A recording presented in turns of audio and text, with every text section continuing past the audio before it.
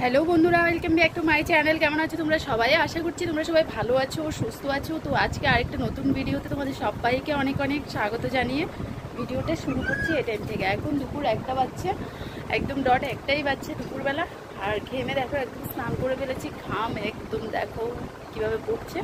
তো এত গরম পড়ছে বন্ধুরা, আজকে কদিন আবার গরম প্রচুর বেড়ে গেছে, বৃষ্টি মানে কমে গেল বৃষ্টি এখন নেই আজকে দুদিন ধরে।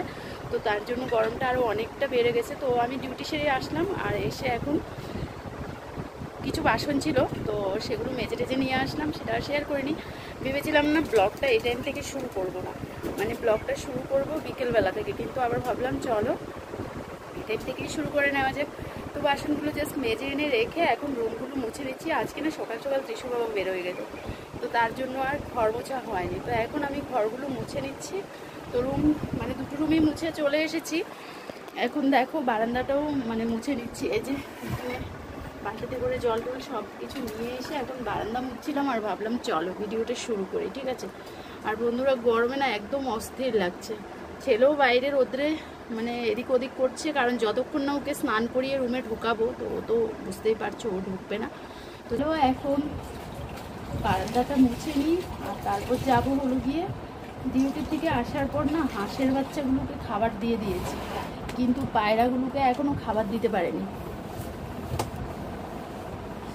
তার জন্য এখন যাব সবার আগে ওদেরকে খাবার দেবো। চাল, ডাল নিয়ে নিয়েছি।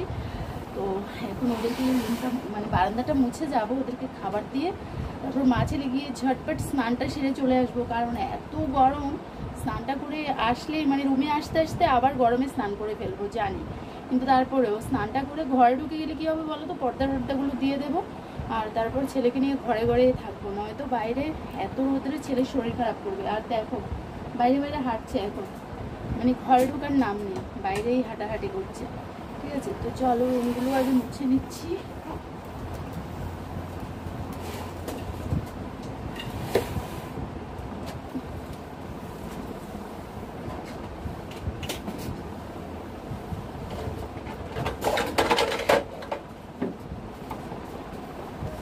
বন্ধুরা বাড়ি ঘরে থাকলে হয়তো কাজকর্ম কাজকর্মগুলো একটু সকাল সকাল করে ফেলতে পারতাম। কিন্তু যেহেতু বাড়িতে থাকে না, তো তার জন্য ঠিক দুপুরেই দেখো ভর দুপুরেই আমাকে এসব কাজকর্মগুলো করতে হয়।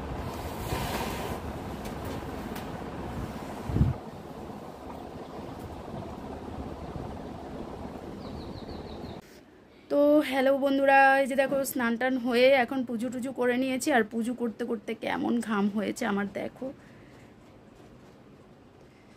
কেমন হয়েছে ঘাম?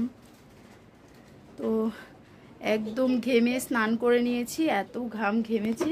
তো এই যে দেখো জাস্ট ঠাকুরঘর থেকেই আবার ব্লগটা আবার কন্টিনিউ করলাম জাস্ট সবে পুজোটা দিলাম।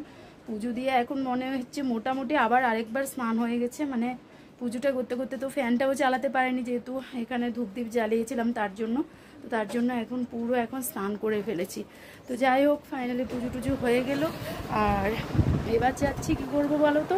আজকে কিন্তু আমার এখনও রান্নাবান্না হয়নি, কালকে রাত্রিবেলা তরকারিটা একটু বেশি করে করেছিলাম, তো তরকারিটা আছে, এখন ভাত করব। কারণ রান্নার পরেই মা ছেলে খাব, এখন বেলা দুটো বেজে গেছে।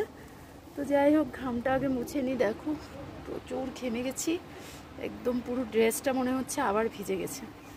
বাইরে আজকে ওয়েদারটা মানে একদম পুরো মানে রৌদ্র। দেখতেই পাচ্ছ কি আলো দেখা যাচ্ছে। তো চলো, এদিকে স্কিন কেয়ার কী করব? এই গরমে সব ঝলসে ঝলসে করছে। তার জন্য এখন আর স্কিনে কিচ্ছু লাগাবো না আজকে। যেহেতু এখন ঘরেই থাকব থাকে, এখন আর লাগাবো না, ঠিক আছে? আর স্নান করে এসে, এই যে দেখো, স্নান করে এসে গাড়ি, ট্রেন, বন্দুক বাইক সব নিয়ে বসেছে।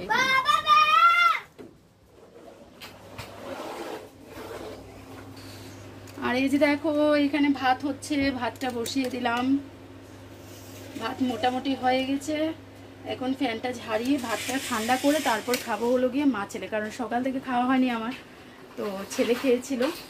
খাইয়ে ওকে একটু ঘুম পাড়িয়ে দিতে পারলে এ গরমে, তারপর গিয়ে হলো স্বস্তি। নয়তো এই দেখতেই পাচ্ছ, বারান্দায় কেমন গড়াগড়ি খাচ্ছে। যাই হোক, ঘরটা আমি মুছেছিলাম। রোজই আমাদের ঘর মোছা মানে ফ্লোরটা মোছাই হয়। কারণ ওর জন্য ওর যে রুমে যাবে, ওই রুমেই গড়াগড়ি করবে। খেয়ে নাও। তো যেখানে যাবে সেখানেই গড়াগড়ি করবে। তার জন্য আমাদের রোজ আমাদের মানে রুমগুলো মুছতেই হয়। ঠিক আছে? দেখো। কমিয়ে দিচ্ছি। পড়ে যাচ্ছে।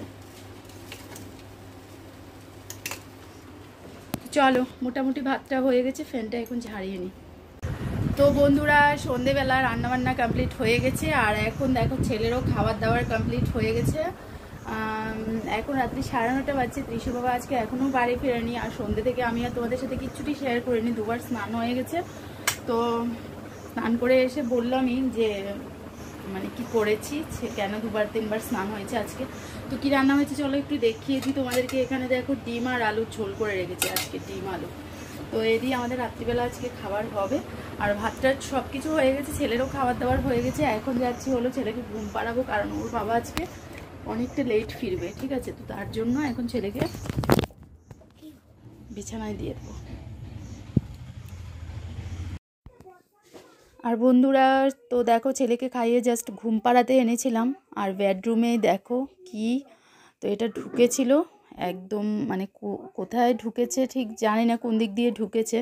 তো আমরা তো ভয়ে অবস্থা দেখো, আমাদের জানালা একদম বেডের পাশে জানালাতেই এটা ছিল আর কি। তো তারপর এক দাদাকে এই যে দেখো, এ দাদাটা এগুলো ধরতে পারে। তো দাদাকে নিয়ে আসলাম, আর দাদাকে এনে এটা এখন উদ্ধার করেছে দাদা।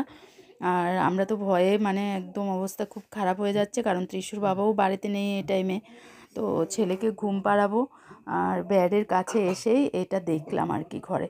তো দাদাকে দেখো, কামড়ও দিয়েছে, দাদা কিন্তু এটা দেখাচ্ছে। দাদা কিন্তু এনজয়ই করছে, দাদার ভয় লাগছে না, কিন্তু আমাদের কিন্তু প্রচুর ভয় লাগছে, আর আমার ছেলেও আশপাশে ঘুরছে।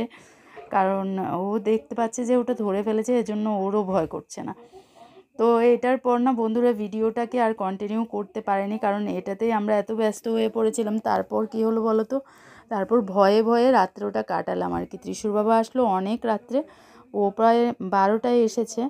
তো তার আগে মা ছেলে খুব ভয়ে ভয়ে ছিলাম রুমের ভেতর। আর ও আসার পর মানে খেয়ে দিয়ে তারপর হলো গিয়ে শুয়ে পড়লাম। তো এই ঘটনাটার পর আর কোনো কিছুই ক্যাপচার করা হয়নি।